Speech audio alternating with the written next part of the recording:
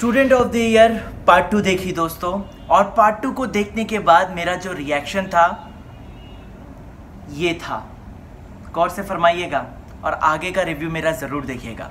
नमस्कार, मैं हूँ राहुल भोज। स्वागत है आपका आपके फेवरेट चैनल में। और मैं ये क्वेश्चन करण साहब से पूछना चाहता हूँ, करण जौहर जी से पूछना चाहता हूँ कि करण सर, मुझे ये बताइए कि आपके प्रोडक्शन तले इतनी अच्छी अच्छी फ़िल्में बनी हैं। आपके प्रोडक्शन तले केसरी आती है, आपके प्रोडक्शन तले कपूर एंड सन्स आती है। तो आप इस तरीके की फ़िल्मों पर क्यों नहीं अपना पैसा इन्वेस्ट करते हो? क्यों हमें student of the year part two three four इसके पीछे पड़े हुए हो आप? मतलब इतना ज़्यादा पैसा कैसे हो सकता है, सर? मैं बस ये जानना चाहता हूँ।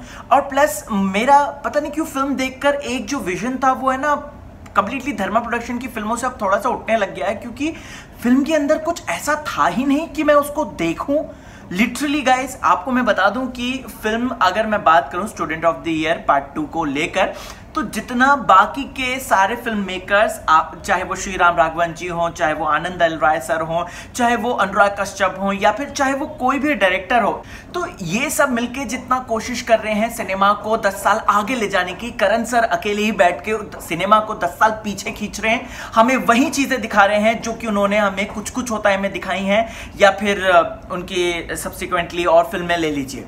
Student of the year one की अगर मैं बात करूँ, आलिया का अलग चाम था, वरुण का अलग चाम था, सिद्धार्थ का अलग चाम था।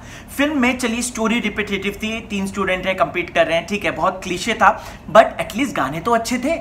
इस फ़िल्म के अंदर student of the year two के अंदर गाने तो क्या है? मुझे कमेंट सेक्शन में लोग बोलते हैं कि तुम्हें तो टाइगर श्रॉफ की फ़िल्मों से जलन है, ये है, वो है। अरे भाई टाइगर बेचारे उनकी इमेज को बार बार हर कोई फ़िल्म मेकर उसी को ही भुनाने की कोशिश कर रहा है।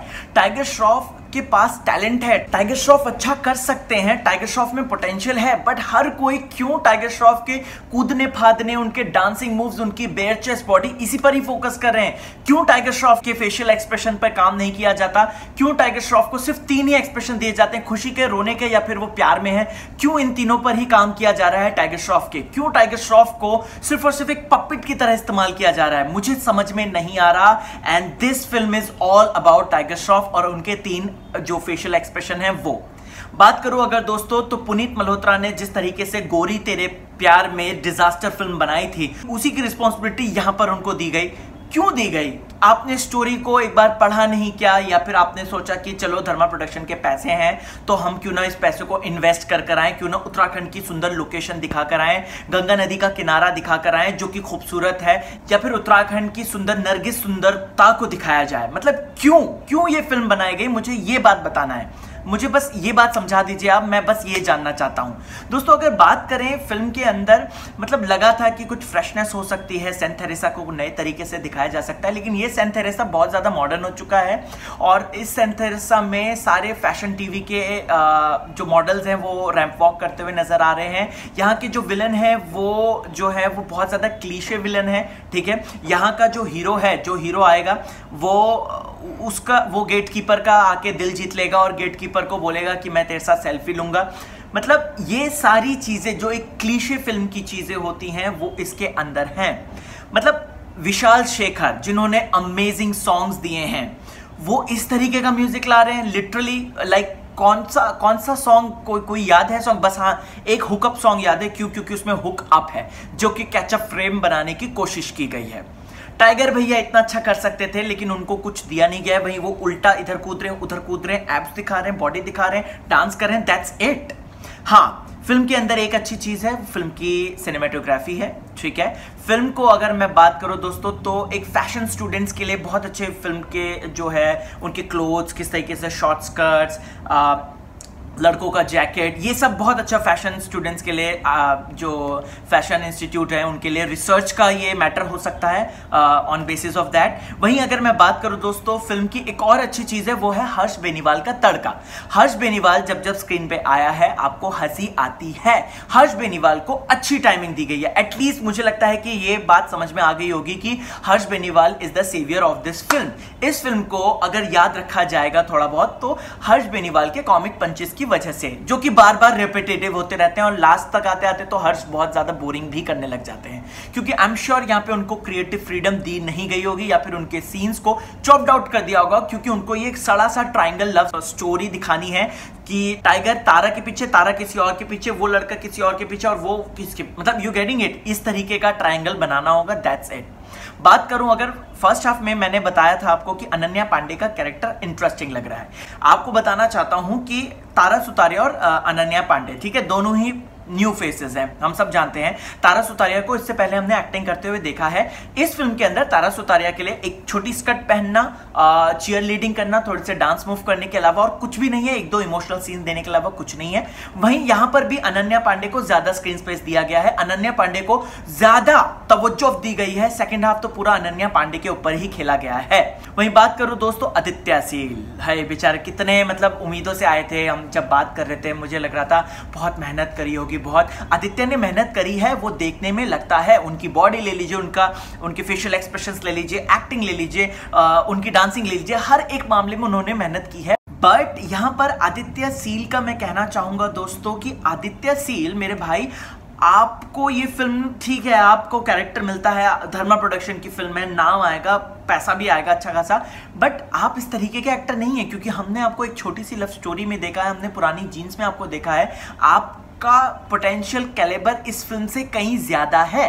वेल मूविंग ऑन फ़िल्म में गाने नहीं है स्टोरी नहीं है डायरेक्शन नहीं है, और जाएँ तो क्यों जाएँ? टाइगर की हॉट बॉडी देखने के लिए जा सकते हैं अनन्या और तारा को छोटे छोटे कपड़ों में आप देखने जा सकते हैं हर्ष बेरीवाल की कॉमेडी आप देखने जा सकते हैं, और बेचारे आदित्य सील ने जो थोड़ी बहुत मेहनत करी है, वो देख सकते हैं। बट ओवर एंड ऑल आप सर पकड़ के वापस आएँगे, मुझे लग रहा है कि ये क्या देख लिया आपने, क्यों इस तरीके से ट्रीटमेंट कर रहे हैं ये, क्यों सिनेमा को और वो और दस साल पीछे खींच रहे हैं जो कि सिनेमा आज से दस साल पहले हुआ करता था। क्यों प्रोग्रेसिव एक सोच नहीं है करण जौहर सर के पास? क्यों वो इस तरीके की फ़िल्मों में अपना पैसा इन्वेस्ट कर रहे हैं? बहुत सारे क्वेश्चन आएँगे दोस्तों दिमाग में। और हाँ आपको ये लगेगा कि राहुल कुछ ज़्यादा ही बोल रहा है नेगेटिव लेकिन दोस्तों आप जाएँगे फ़िल्म आपको खुद पता चल जाएगा कि फ़िल्म में क्या है क्या नहीं है। और ए, एक दो सीन मैं थोड़े से और मैंशन करना चाहता हूँ कि टाइगर श्रॉफ दूसरे स्कूल में जाते हैं, लेकिन वो चैलेंज करने के लिए जब स्कूल में आते हैं तो गेट कीपर अपने आप गेट खोल देता है कि आओ भैया, तुम आओ और यहाँ पर खुलेआम प्रिंसिपल के सामने उसको चैलेंज करो। ओ, ऐसी दादागिरी कहाँ चलती होगी? और प्लस ये स्टूडेंट नहीं लग रहे हैं यार कम ऑन ये स्टूडेंट बिल्कुल भी नकले मुस्टंडे इतने हट्टे कट्टे मुस्टंडे ये कबड्डी खेलते हुए नज़र आ रहे हैं तो भाई आपके इतने हट्टे कट्टे हिस्ट पुष्ट कैसे कबड्डी मतलब या तो आप कुछ और ही दिखाते, या तो graduation of the year something कुछ ऐसा हो सकता था, लेकिन स्टूडेंट तो बिल्कुल भी नहीं लग रहे, मुझे तो बिल्कुल नहीं लगा, आपको लगेगा तो कमेंट सेक्शन में बताइएगा। और एक और बात स्टूडेंट ऑफ़ द ईयर कोई लड़की क्यों नहीं हो सकती, मुझे ये बता दो बस। लड़कियों का काम फ़िल्म के अंदर सिर्फ़ छोटे कपड़े पहनना हीरो को रोमांस करना, और एक वजह बनना हीरो की स्टोरी आगे जाए। क्या सिर्फ़ यही है? मुझे बस ये जानना है क्या लड़कियाँ स्टूडेंट ऑफ़ द ईयर नहीं बन सकती? करण जौहर साहब क्या सोच रहे हो आप? क्या कर क्या रहे हो? मुझे तो समझ में नहीं आ रहा। फ़र्स्ट फ़िल्म में भी आपने दो लड़कों के बीच में कंपटीशन कराया था। सेकंड फ़िल्म में भी आपने दो लड़कों के बीच में कंपटीशन कराया। भाई क्यों? किस लिए? कि, क्या वजह है? और लड़कियों को सिर्फ़ एक छोटे कपड़े या फिर गाना या चीयर लीडिंग बस दैट सेट करना या फिर आ, जो जब लड़का खेल रहा है तो उसको पीछे सपोर्ट देना। Come on come on come on ऐसा करना। भाई बहुत सारे क्वेश्चन अराइज होंगे और मुझे लगता है कि आ, मेरा हेडेक अभी थोड़ा सा कम होगा आपको ये रिव्यू बता के। आपको क्या है कहना कमेंट सेक्शन में। Please just be honest and startup के पीछे मत भागिए यार। सिनेमा एग्रेसिवली आगे जा रहा है सिनेमा आगे बढ़ रहा है तो एक तरफ़ जिस तरफ़ एंड गेम जैसी फ़िल्में आ रही हैं, या फिर एक तरफ़ दोस्तों बधाई हो, स्त्री जैसी फ़िल्में बन रही हैं या फिर जिस तरह उरी जैसी फ़िल्म बन रही है, गली बॉय जैसी फ़िल्म बन रही है या ताशकन फ़ाइल ले लीजिए वो फ़िल्में बन रही है, उस तरफ़ ये फ़िल्में आना और इस फ़िल्म को भी ज़्यादा सपोर्ट मिलना तो ये क्वेश्चन मार्क है हम सोसाइटी के ऊपर, कि सोसाइटी किधर जा रही है और वो क्या देखना चाहती है। चलिए इजाज़त देता हूँ, नमस्कार। कुछ बुरा शुरा कह दिया होगा तो माफ़ कर देना but I speak my voice या oh yes by the way अगर आप मेरे से स्टार्स की बात करेंगे इस फ़िल्म को, जो कि एक हमारी प्रथा रही है देने की तो मैं पाँच में से इस फ़िल्म को डेढ़ स्टार देना चाहूँगा, एक स्टार फ़िल्म को और पॉइंट फाइव स्टार जो है हर्ष बेनीवाल को because he is awesome in that